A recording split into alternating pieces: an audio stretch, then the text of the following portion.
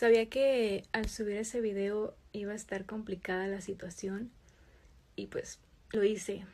Yo sabía que me exponía, lo hice de todas maneras y les pedí que mm, tuvieran respeto para ambas partes y algunas personas han sido muy respetuosos, muy buena onda, lo cual agradezco muchísimo. Otras personas sí han sido pues algo groseros. Pero pues, en fin, yo sabía que me atenía.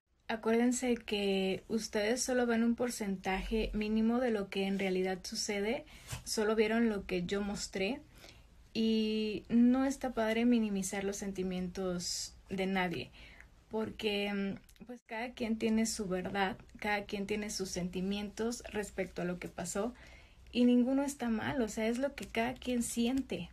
Entonces, aquí lo que nos falta es un poquito de empatía y sé que están preocupados y como lo dije en el video, el cual ni siquiera tuve tiempo de hacerle una despedida, solamente necesito tiempo porque, o sea, es algo de lo que yo me acabo de enterar, yo me sentí traicionada y solo espero que me entiendan.